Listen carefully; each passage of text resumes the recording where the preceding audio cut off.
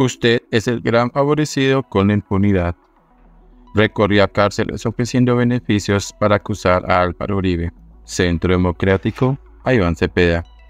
El partido político que lidera el exmandatario arremetió contra el senador luego de que pidiera un escrito de acusación en contra del expresidente por parte de la Fiscalía.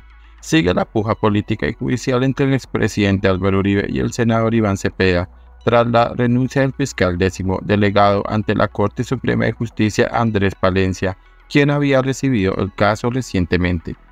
El hecho generó que el senador de izquierda se pronunciara sobre lo que debería ser la fiscalía, lo cual ocasionó una fuerte respuesta desde el Centro Democrático. Senador Cepeda, usted es el gran favorecido con la impunidad. Es usted quien recorría cárceles ofreciendo beneficios para acusar a Álvaro Uribe, aseguraron desde la colectividad. Además, defendieron la gestión de Uribe diciendo que el expresidente solamente tenía el interés de verificar información que le llegaba sobre sus gestiones carcelarias.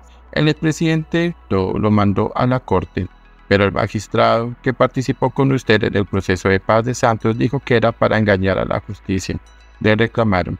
La respuesta del partido se da tras el pronunciamiento de CPA en las últimas horas en el que dijo que a la fiscalía no le quedaría otra opción que presentar un escrito de acusación en contra del exmandatario, porque lo contrario estaría propiciando la impunidad en favor de Uribe. De no presentar escrito de acusación, la Fiscalía General de la Nación estaría propiciando una vez más un escenario de impunidad a favor del imputado y allanando con ello el camino de la prescripción, aseguró Cepeda. Uno de los argumentos es que en la segunda instancia, la Sala Penal de la Corte Suprema de Justicia, su defensa presentó una solicitud de amparo en contra de la Fiscalía General de la Nación y la Fiscalía Décima Delegada ante la Corte Suprema de Justicia por una supuesta vulneración de los derechos fundamentales al debido proceso, a la verdad, la justicia y la reparación. En este caso pondremos al alto tribunal en conocimiento de este nuevo hecho para que sea considerado al momento de dictar el fallo de tutela de segunda instancia, informó el senador y su defensa. CPA considera que más allá de la renuncia de Palencia, los términos para una decisión se cumplían este 10 de enero. El referido término no tiene el carácter de personal. Por tanto, la renuncia al cargo por parte del fiscal Palencia no le permite a la Fiscalía General de la Nación atribuirse términos adicionales para realizar actividades investigativas, afirmó. Sin embargo, la Fiscalía informó las últimas horas la decisión en las que el fiscal argumenta su renuncia al cargo por razones personales relacionadas con la salud de su familia. Ante la vacancia judicial presentada y con el propósito de dar continuidad a la actividad investigativa relacionada con el proceso que se sigue en contra del señor expresidente Álvaro Uribe, por fraude procesal y soborno testigos, se ha asignado el caso al fiscal 12 delegado ante la Corte para lo pertinente, señaló la Fiscalía.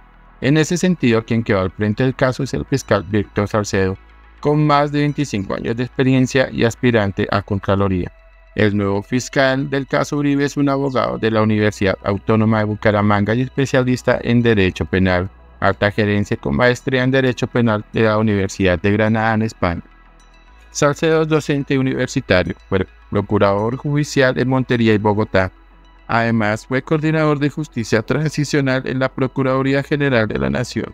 Por su oficina han pasado otros casos de relevancia para el país, como la imputación en contra del fiscal Daniel Hernández y los exgobernadores de San Andrés, Eber Hopkins, y de Chocó, Ariel Palacios. Asimismo, una de las investigaciones más recientes es la de la exministra del Deporte María Isabel Urrutia, quien quedó en el ojo del huracán por una feria de contratos firmados antes de dejar el cargo y haber sido declarada insubsistente por el presidente Gustavo Petro.